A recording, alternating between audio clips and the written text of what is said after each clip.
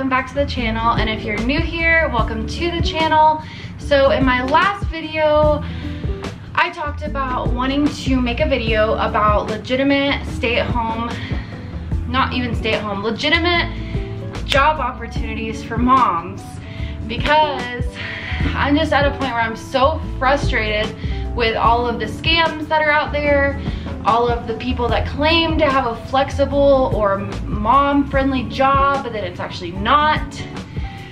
So, I made a list of 10 legitimate ways to make money as a mom. These are 10 very different things. There's a lot of different things, um, but I think that that's great because there's something for everybody. So I'm just gonna kind of get into it. I made a list of 10, like I said, we're just gonna go through them one by one. And I hope that this in some way helps um, somebody who is in the same situation where I have been in, which is just struggling to find something to do as a mom, to make money, have a social outlet, all of that stuff. So let's get started. So the first one, it's gonna be the most basic one and no, it's not basic in the aspect like if you do this, there is no shame in it. It is a great, safe, easy way to make money and that is bookkeeping. So a lot of companies need somebody to do bookkeeping for them. Moms have the perfect schedule and flexibility for what a lot of companies are looking for because it's something that you can do at home um, or even just kind of on your own time. But bookkeeping. This is something that I have not seen a whole lot of listings for, but I've heard from friends who do it that if you reach out to companies or if you just happen to know um, somebody that owns a company, you can always ask them if they're looking for somebody to do this. And it typically is something that helps them out a lot and it gives you the ability to make money. So that's not a lot of money, uh, not a lot of detail there, but that is an option. Number two is working with Amazon. Now there's two different ways that you can do this. There are Amazon jobs like Amazon Fresh, um, Amazon warehouse jobs. And the reason that I think that these could be good for moms is because a lot of them, specifically I know Amazon Fresh, give you the ability to work kind of odd hours. Um, you can pick your own schedule, I've heard, on their app um, for Amazon Fresh.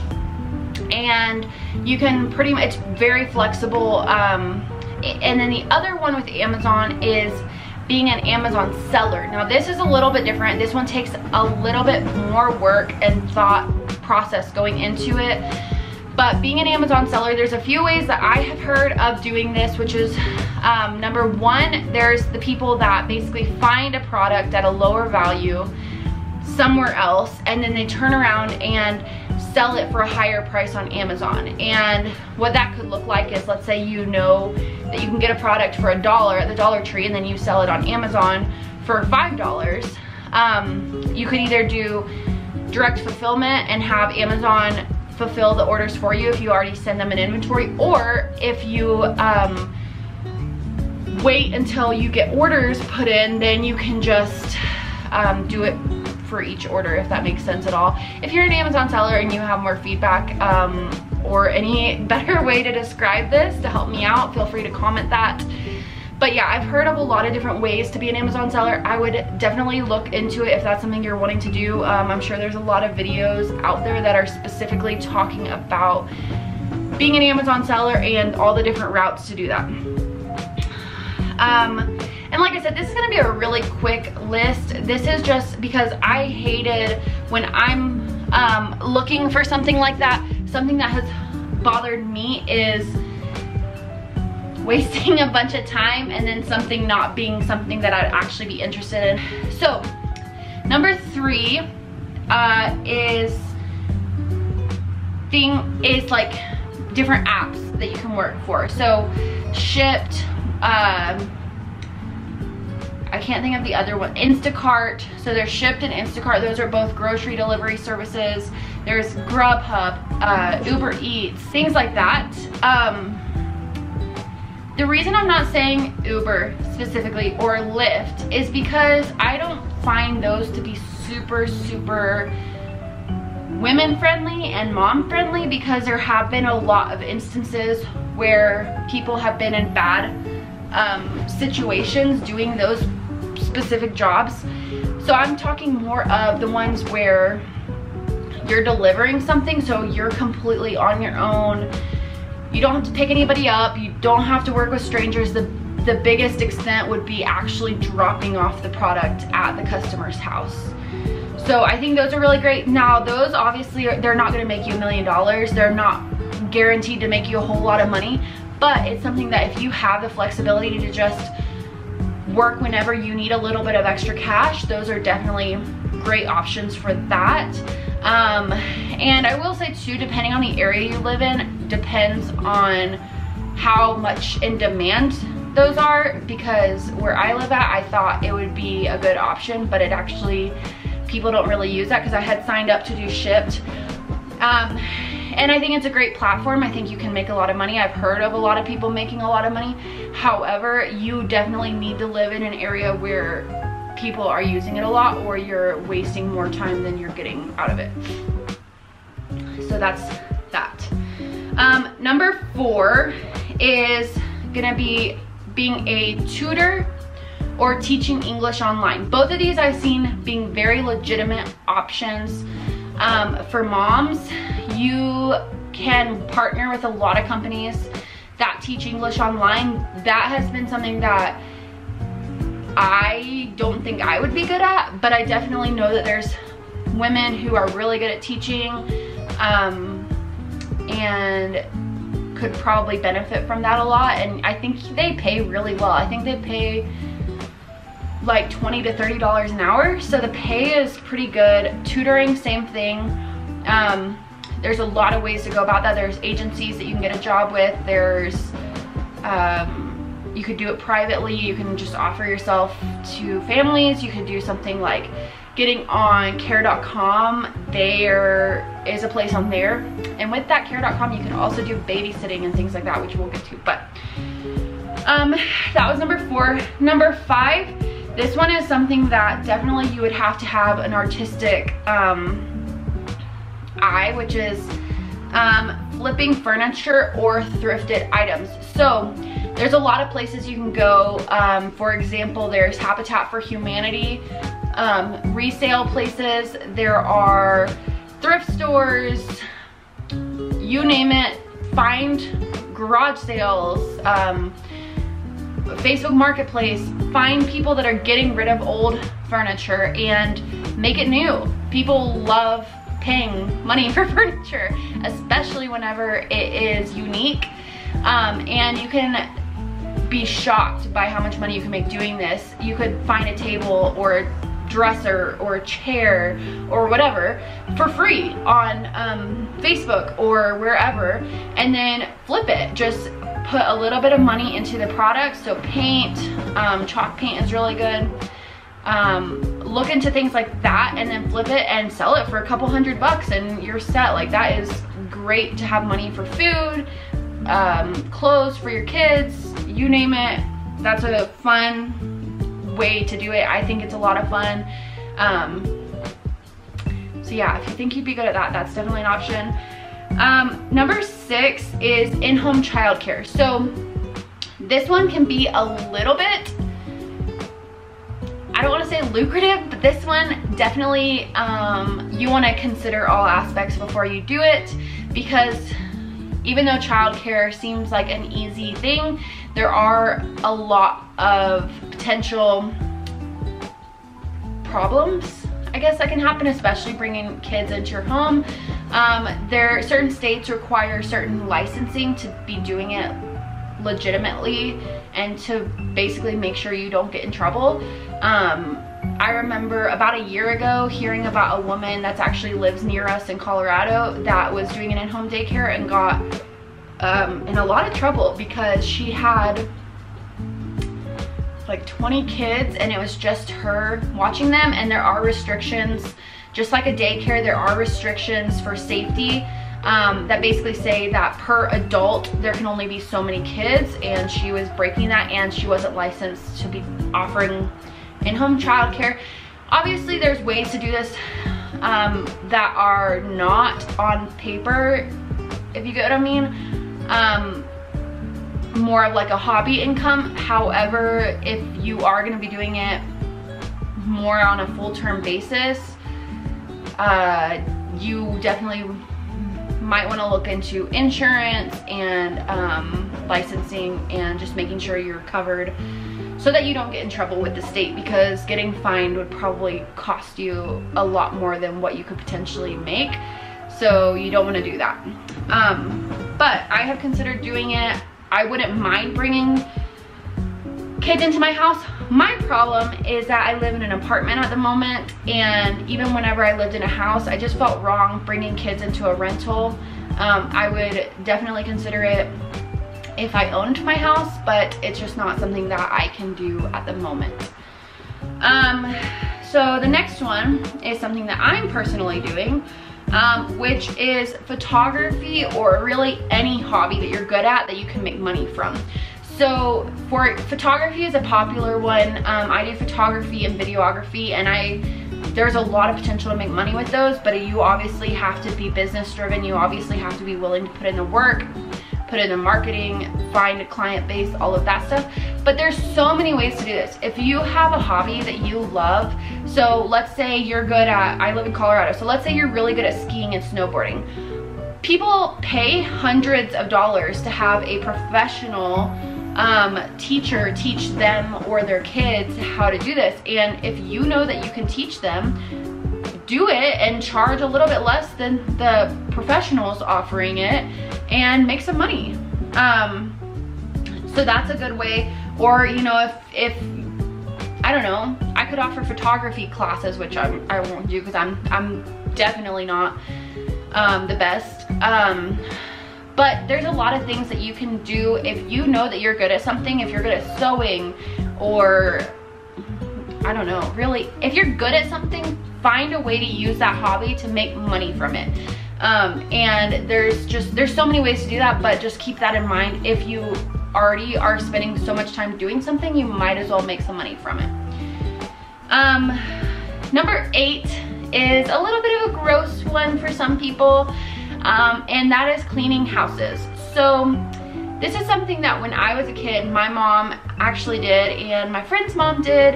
Um, and they were, they were cleaning uh, model homes, so it wasn't like houses where people were living in, but there's, um, you can basically market yourself or just put yourself out there if you're on any like local Facebook pages or, you know, I don't know, there's so many platforms to do these things, but offer yourself to clean somebody's house. You can make, I don't know, you can make 30, 40, even $50 an hour depending on how good you are, where you're doing it at, all of the, all of that good stuff. Um, so yeah, cleaning people's houses, you can definitely make some good money doing that and it's very flexible with hours being a mom. You could do really early mornings, late nights, people are really flexible when it comes to that. Or cleaning offices or businesses. Um, that's another really popular one. Just because um, it's not quite as gross as cleaning somebody's personal house and filth and all of that stuff, but um, you can make some really good money doing that on a routine basis. Number nine is being a social media manager for businesses. So a lot of bigger businesses already have somebody that's doing that for them. But if you find somebody that just started up a business or you there's a business nearby that you can tell that they could benefit from doing a little bit more with their social media platform, offer, reach out to them. Tell them, hey, I would love to take over managing your social media.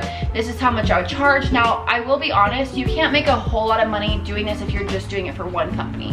One company might pay something like 50, 100, 200 dollars a month to manage their social media platform. However, if you're taking on five, 10 businesses and you're doing it, you could make a good chunk of money each month, which could help with a lot of bills.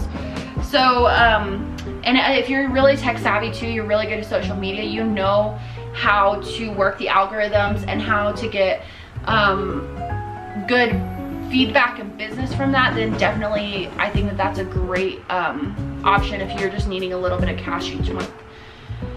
Number 10 is the most obvious that you will probably ever hear or see, the most um, frequently done, I would say, by most um, moms, and that is working a part-time job that just works with your spouse or your partner or whoever's schedule. Um, so waiting tables, uh, bartending, um, gosh, any, literally any part-time job that you can think of if the hours work well. Coffee shops are great because you can do really early mornings. Um, bars are great because you can do late nights. So thinking things like that, things that could work around um, somebody else's schedule so that your spouse or like I said, whoever, um, because I know in my situation, Jhonas works full time and I am the one that has to kind of play catch up and work around his schedule. So it's something that I've looked into a lot. Obviously this year, this whole entire past year with everything going on has been so hectic that not a lot of the jobs that I would personally apply to have been hiring, um, specifically like bartending and stuff like that, just because there's bars haven't been open and also I don't want to put myself in a position where I get a job that potentially could close down or anything like that. But um, yeah, I don't know.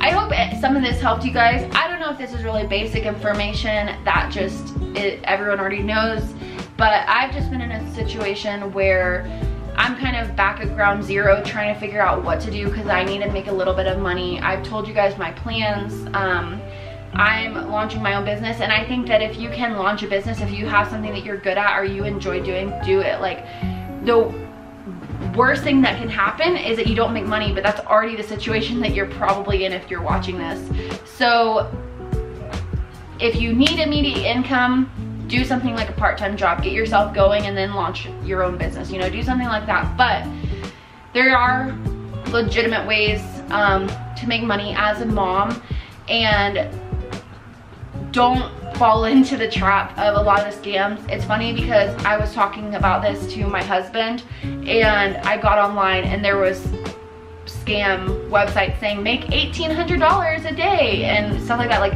if it sounds too good to be true, it's too good to be true. Like there's not a job that is gonna pay you to work from home and pay you $1,800 a day. Unless you're like the CEO of a company, which you're probably making a lot more than that. But I'm just saying, most of the times that you hear stuff like that, it's not legitimate.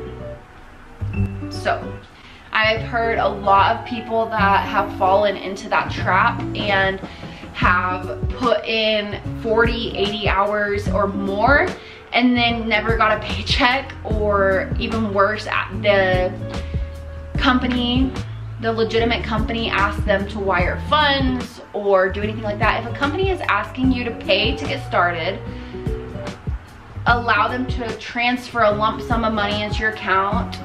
Um, if they're asking a lot and it seems like a red flag, it's probably a red flag and you should probably run in the opposite direction because there's just really, it's it's really hard being in that position because you want to find something that sounds too good to be true because as a mom you already feel like you're stretched so thin on a daily basis that you just need something to be easy income. But legitimately it's probably just not a good idea to do those things. Um yeah. That's the biggest thing is i just it makes me really sad. I have heard a lot of stories of women um, moms and things like that that have been put in these positions where they've been scammed and that just makes me so sad. So try some of these things out. If they work for you, great. If you're already doing it, cool. Um, let us know how it's working for you because I know when I'm looking all over the internet and, and trying to come up with ideas for myself, I'm looking for personal feedback. So if you're doing any of these things and they're working for you, please comment that and let us know. Um, but that's pretty much it. I just, I, since I'm going through this right now, I just wanna help for anybody else that might be going through it. Um, it's a frustrating position to be in. It's, it just feels like the United States is not very work friendly for moms.